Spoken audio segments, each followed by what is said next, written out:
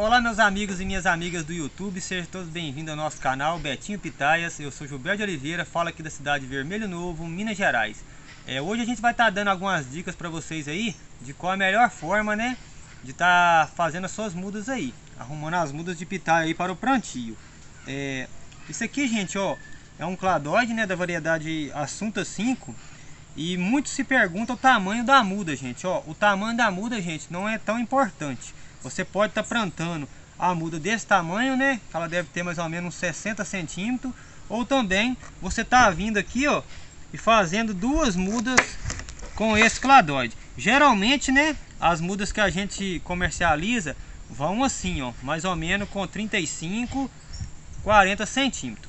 É, muitas pessoas fazem o seguinte, gente, eles cortam a muda aqui no cabinho, né, e plantam. E eu antigamente também fazia isso, gente, mas não é o mais certo. O certo é, mesmo cortando no cabinho, você vir cá e fazer um apontamento nesse cabinho, ó.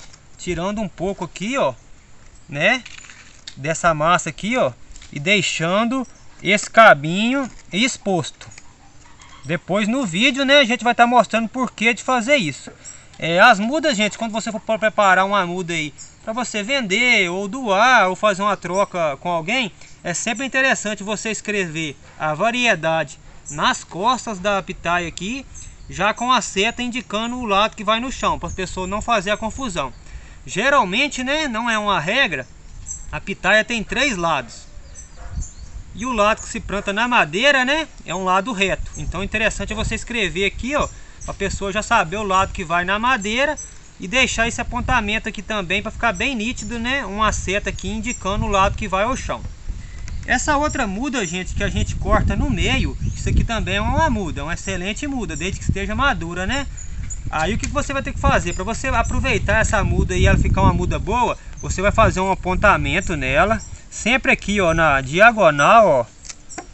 Ó, sempre na diagonal, gente, ó. Ó.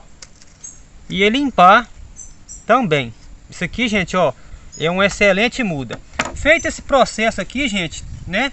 Tanto do pé da muda ou quanto do meio da muda, o mínimo que você tem que esperar aí é de 15 dias para esse corte aqui cicatrizar. O que acontece é que muita gente perde, né, as suas mudas aí é por conta disso. Por é por é, vamos dizer assim, né, por a pessoa ser impaciente, não espera, né, esse corte aqui ou cicatrizar, aí aqui fica sendo porta de entrada para fungos. Aí a muda começa a espudecer, amarelar. Então você tem que esperar aí no mínimo 15 dias. O bom seria até mais. É, antigamente, gente, eu plantava, né? As mudas, a gente até cortou umas aqui, deixou para mostrar no vídeo, ó, desse jeito aqui, ó. Só cortava elas lá no pezinho, né? E não fazia esse apontamento aqui, não. E plantava assim.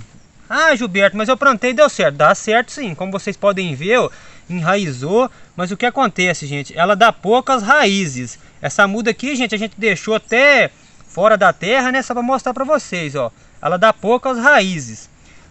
Quando você faz esse apontamento aqui, ó, sai mais raiz. Eu vou até mostrar para vocês.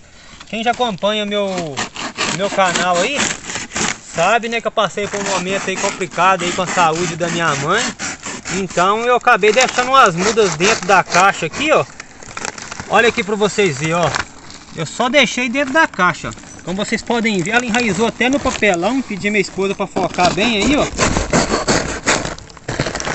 Isso aqui, gente, são a... Isso, isso aqui seriam essas mudas aqui, ó. Que são as sobras, né? Que a gente vende para nosso cliente. Aí as sobras aí a gente deixa para a gente estar tá plantando para a gente aqui. Ainda mais quando é uma variedade um pouco mais rara, né? Que a gente tem poucas mudas. Então a gente vende, né? A maioria das nossas mudas assim. E as que não dão o tamanho exato, a gente vai e deixa aqui para a gente estar tá replantando nossa, nossa propriedade. Eu vou tirar aqui para vocês verem como está com, com raízes, ó. Isso aqui, gente, deve ter mais ou menos uns dois meses, né? Foi no período aí que eu tava mexendo aí com a saúde da minha mãe, que ela tá, ficou internada aí na UTI, né? É, falando nisso, gente, a minha mãe veio a falecer tem quase um mês, né? Eu agradeço a todos vocês aí que oraram aí pela saúde da minha mãe aí, tudo, né? Só tenho a agradecer a vocês, mas infelizmente aí ela, ela não suportou aí a bactéria que ela tinha pegado aí no coração e infelizmente a gente acabou perdendo ela aí. Mas eu agradeço todos vocês que oraram aí para saúde dela. Foi muito importante aí, isso foi, foi de muito grande ajuda. Aí mostrando para vocês aqui, gente, ó. Olha esse sistema de enraizamento aqui, ó. Olha que espetáculo. Essas mudas aqui foram cortadas no mesmo dia, ó. Essa daqui não deu nem tempo, né, de eu preparar ela no dia para o cliente, que eu saía na, na correria. Mas essas aqui foram as sobras, como vocês podem ver, ó. Foram cortadas aí no meio, né, foram feitos apontamentos, como eu disse para vocês. Em diagonal, ó, os cortes cicatrizaram, né, não tem nada de, de errado aí, ó. E como vocês podem ver, ó, o sistema radicular disso aqui como é que tá. Sem contato com a terra, sem contato com nada. Simplesmente aqui, né, cortadas, olha como é que elas enraizaram.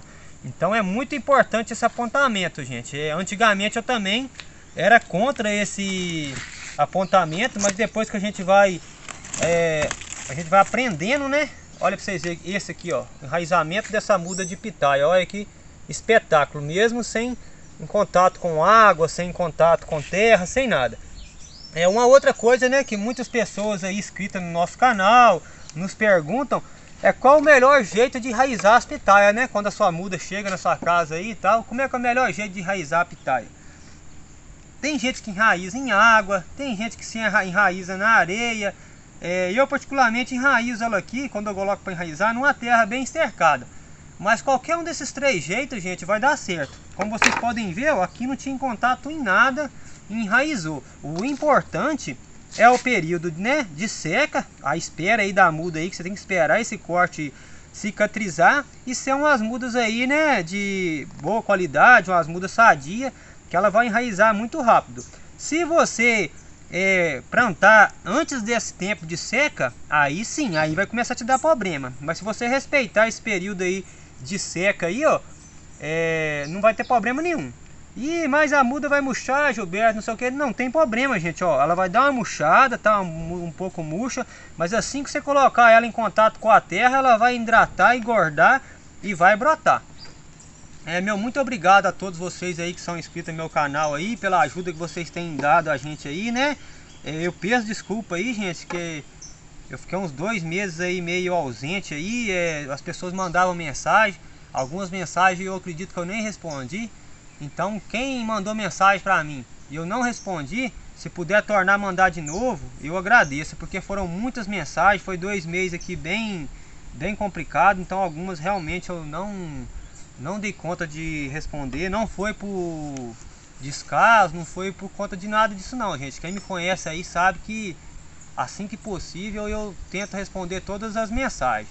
É só que eu tenho muito trabalho aqui, né, gente? Então é durante o dia a gente fica trabalhando. E eu respondo as mensagens mais é, na parte da manhã e na parte da noite. Mas sempre que possível eu tô respondendo, gosto de fazer aí o que eu posso aí para estar tá ajudando as pessoas. Quem eu não conseguir responder, principalmente no mês de janeiro, hoje a gente já está no mês de março, né? Principalmente no mês de janeiro, que foi o mês mais conturbado para mim aqui. Se puder me mandar mensagem de novo, a gente está aí para tentar responder, tentar ajudar. E desculpa aí, né? Por eu não ter respondido. Mas meu telefone não é muito bom de memória, então minha esposa tem que ficar apagando mensagem de vez em quando para poder estar tá mexendo aí no canal do YouTube e tal. Então foi por conta disso. Um abraço a todos vocês e mais uma vez aí, muito obrigado a vocês que oraram aí pela saúde da, da minha mãe aí, que deu nós um, um apoio aí. Esse período foi muito importante contar aí com a ajuda de vocês, com a ajuda dos meus amigos aí, do meu amigo Roberto, do meu amigo Wilton, do meu amigo Jeremias, de todos os amigos que me ajudaram aí nesse momento difícil. Meu muito obrigado a todos vocês e fiquem com Deus. Que Deus continue abençoando todos vocês.